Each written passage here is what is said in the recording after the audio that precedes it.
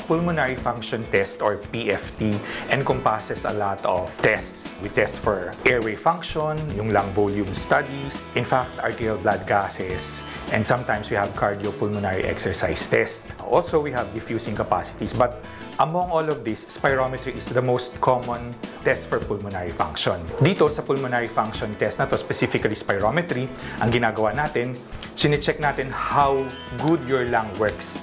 Ito yung ang nagde-determine kung anong mga pulmonary conditions or lung conditions meron ka. The patient is instructed to blow out air, the maximal inspiration. But we have these pre-test preparations for spirometry like Every day, we calibrate the machine to check for accuracy of results. And then we get the patient's weight and height because that's very important in checking for the predictive values kung obstructive ba to, normal ba to, or restrictive ba to. The procedure is done while patient is sitting. And an option is the use of nose clips. That's the pre-test preparation. So during the procedure in itself, we have to explain to the patient how the test works. Siyempre, hindi pwedeng explanation lang yan. Better or best kung i-demonstrate natin yung maneuver. So, the maneuver is the patient breathes into the spirometer machine via a mouthpiece. Once you reach that 6 seconds, the next step is to instruct your patient to inspire again.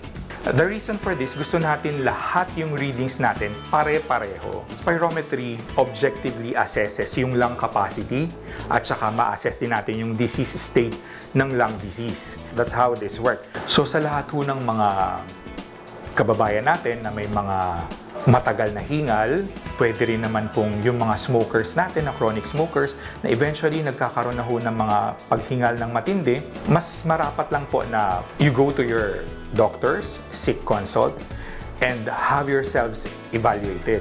Kasi baka ho kailangan na nating magpa-spirometry or ipa-measure ho yung function ng baga natin. Pwede ho kasing makamatay yung asthma, or COPD lalo na if left untreated. Let's be very vigilant about what we feel. Let's go to our doctors and have them examine us. Kung kailangan magpa-spirometry, magpa-spirometry po tayo. This portion was brought to you by the De Los Santos Medical Center.